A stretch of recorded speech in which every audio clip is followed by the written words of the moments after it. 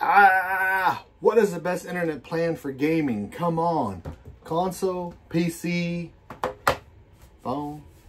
Don't game on. Well, I mean, no. Gaming on phone's pretty cool. These phones are super, super supreme. But which one's the best one for gaming? Okay.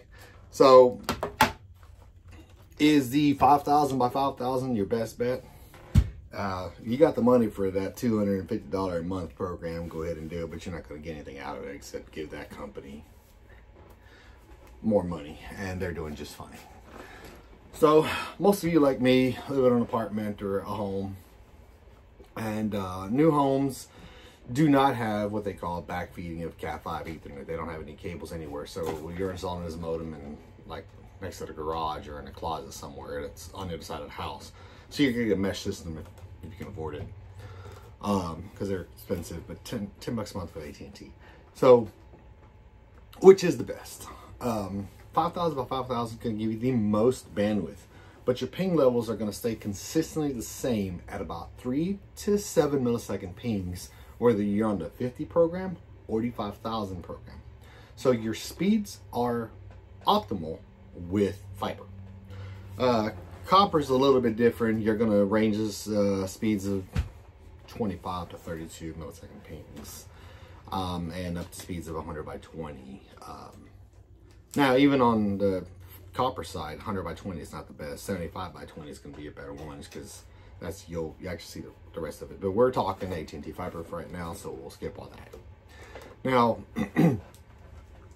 $250 a month for the 5000 by 5000 I think it's uh, 175 for the 22000 and about $80 a month for the 1000 um, Back to the placement. So if this is in the living room and you have an ethernet connection to it, uh, you're going to take advantage of the speeds out of it. Now, console gaming, PlayStation and, and Xbox, Ethernet is going to cap out between 300 and 750 megabytes a second. Uh, Wi-Fi, you're going to probably hit 25 to 75 to 100 max. Now, if these gateways are in the other side of the house, then Wi-Fi is to be best bet unless you run you an Ethernet cord or straight across the floor. So the best AT&T plan, straight up, is 300 by 300. That's going to give you plenty of bandwidth for the entire house for everything you got going on. Now, if you got 85 devices, go to you, you probably got a lot more than I do, um, or most of us do. But on a serious note, 300 by 300 is going to give you the best for anything you got.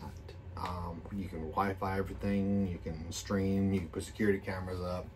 It's going to be fast, clean, and it's going to save you some bucks too. So my two cents on that right there is 300 by 300 is going to give, give you the best and it's quick enough for console gaming or PC gaming.